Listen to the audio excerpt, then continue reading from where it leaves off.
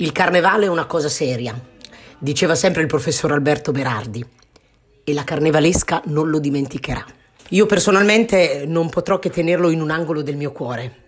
Lui è l'uomo che ha sempre sostenuto la mia avventura carnevalesca, a cui mi rivolgevo ogni volta che avevo dei dubbi e che puntualmente mi chiamava se dai giornali apprendeva notizie sul carnevale che non gli erano molto chiare oltre che a sentirci per commentare altri eventi pubblici e privati.